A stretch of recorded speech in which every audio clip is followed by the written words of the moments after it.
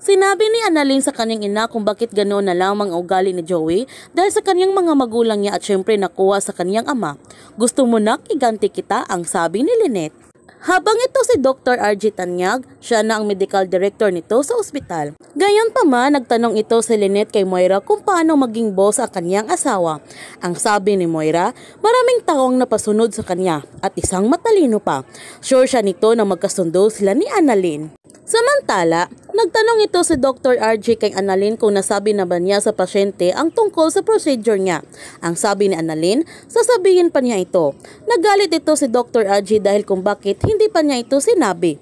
Dok, bida-bida po kasi yan, ang sabi ni Doc Predo. Doc Predo, hindi ako bida-bida, gusto ko lang. Gusto ko lang ano? Gusto mo lang patunayan na genius ka? Ang sabi ni Dr. RJ.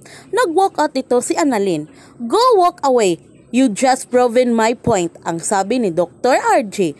Ngayon, medical director na si Dr. RJ Tanyag, ito na kaya ang pag-alis ni Annalyn sa ospital? Yan ang ating abangan. Kung bago ka pa sa channel ko, don't forget to like, subscribe, and click the notification bell para palagi kang updated sa mga videos in-upload ko. Thank you for watching and God bless to everyone!